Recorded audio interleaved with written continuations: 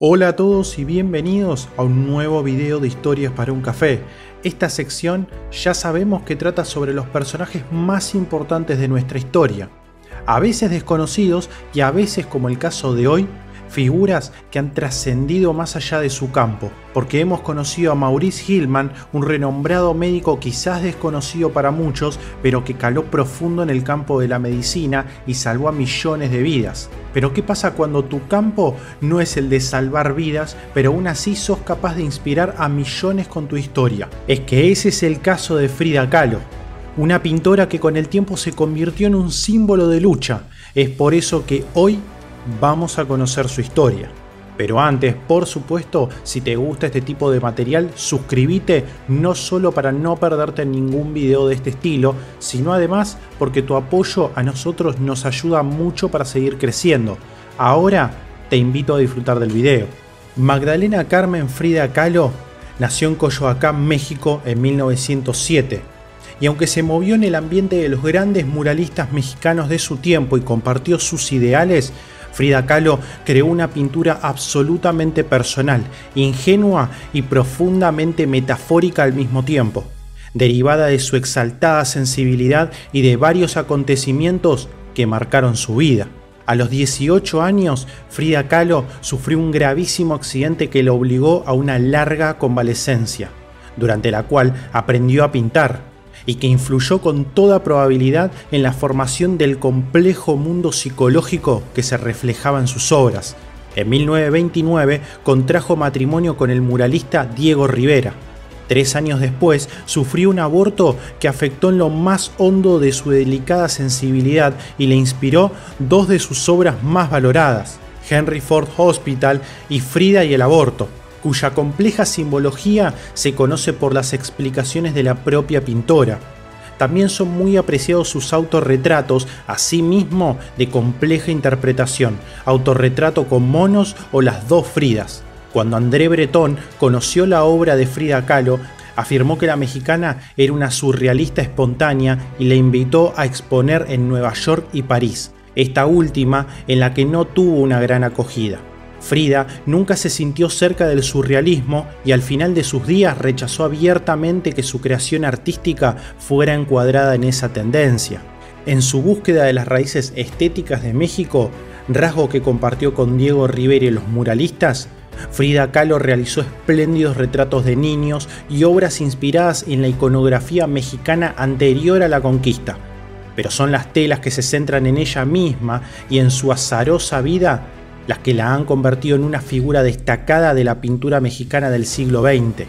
La producción de la artista mexicana es un ejemplo de ese tipo de arte que sirve como poderoso instrumento con el que exorcizar la angustia de una realidad hostil. El signo trágico de su existencia, marcada por la lucha contra la enfermedad, había comenzado cuando a los seis años contrajo una poliomielitis que le dejó importantes secuelas en 1925 sufrió un grave accidente de tráfico que le fracturó la columna vertebral y la pelvis. Además de imposibilitarle tener hijos, el accidente fue la causa de numerosas operaciones futuras y de una salud siempre precaria. A través de la pintura, que empezó a practicar en los largos meses de inmovilidad tras el accidente, Frida Kahlo reflejaría de forma soberbia la colisión entre su ansia de felicidad y la insistente amenaza de su destrucción, a la vez que conjuraba la dualidad irreductible entre los sueños de amor, de hijos y la realidad de dolor e impotencia. Durante la convalecencia del accidente, sin poder ni siquiera incorporarse, comenzó a pintar tomándose ella misma como modelo principal le colocaron un espejo bajo el baldaquino de su cama y un carpintero le fabricó una especie de caballete que le permitía pintar estando acostada.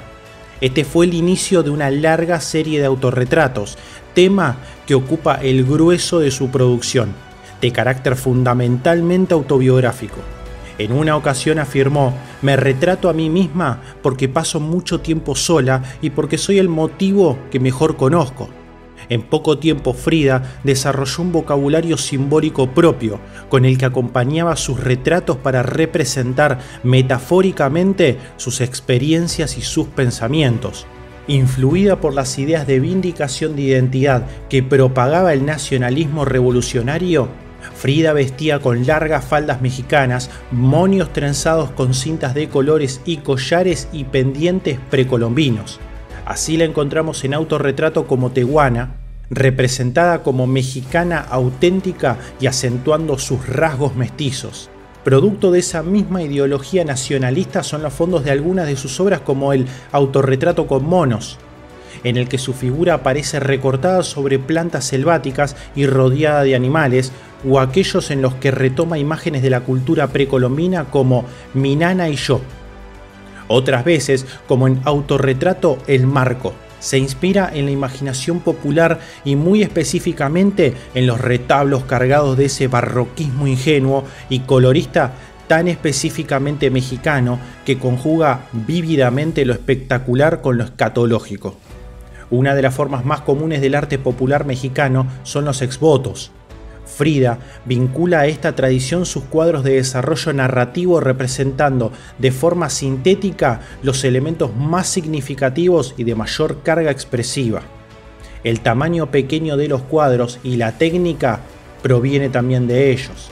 Esta fusión entre la temática personal y las formas de la imaginación popular se encuentra expresada de forma emblemática en la obra Henry Ford Hospital. A pesar del accidente, Frida esperaba que su segundo embarazo llegara a buen término, pero su pelvis fracturada no podía acoger el desarrollo del niño. La traumática experiencia de un nuevo aborto fue el origen del cuadro. La adopción de las formas narrativas de los ex-votos tiene su mejor ejemplo en una pieza singular titulada Retablo. Frida había encontrado un ex-voto que representaba el choque entre un tren y un autobús una muchacha herida yacía sobre las vías y la imagen de la Virgen de los Dolores flotaba sobre la escena, añadiendo a la chica sus propias cejas y unos rótulos al tren y al autobús. Lo convirtió en la representación de su propio accidente. En la parte inferior escribió, los esposos Guillermo Calo y Matilde C. de Calo dan gracias a la Virgen de los Dolores por haber salvado su niña Frida del accidente acaecido en 1925 en la esquina de Cuauhtemocín y de Calzada de Tlalpan. Tras superar algunas graves crisis de salud, y de forma idéntica como lo hacen los creyentes con los santos de su devoción, Frida mostró su agradecimiento a los médicos mediante pinturas que siguen rigurosamente las convenciones del exvoto. Muestra de ello son las obras dedicadas al doctor Eloeser y al doctor Faril. Pero no solo la enfermedad fue causa de sus trastornos y metáfora de sus pinturas. Los reveses de su vida afectiva también fueron temáticos en cuadros que constituyen depuradas síntesis simbólicas. En el corazón, la ausencia de manos expresa su impotencia y desesperación ante el enredo amoroso entre Diego Rivera y su hermana Cristina. Su corazón, literalmente arrancado, yace a sus pies y posee un tamaño desmesurado que refleja la inmensidad de su dolor.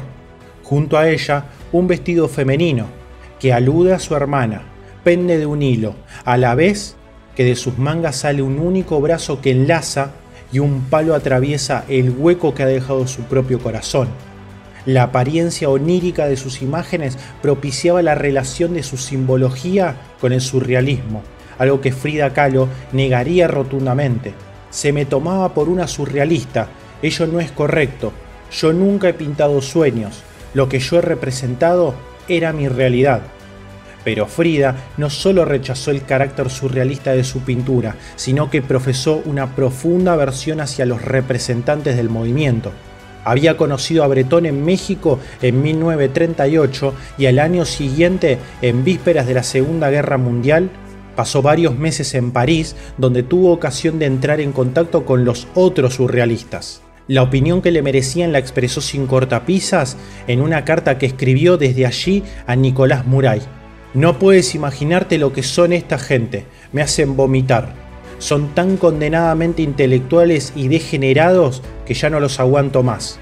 Lamentablemente, Frida Kahlo le ha tocado sufrir una batalla durante toda su vida contra enfermedades, accidentes, desgracias y en sus obras reflejaba lo profundo que eran las cicatrices de estas experiencias. Espero que el video te haya gustado, de ser así podés dejar un pulgar arriba y compartirlo. No olvides suscribirte que esto ayuda al canal a seguir creciendo. Esto ha sido Historias para un Café y nos estaremos viendo en un próximo video. Hasta pronto.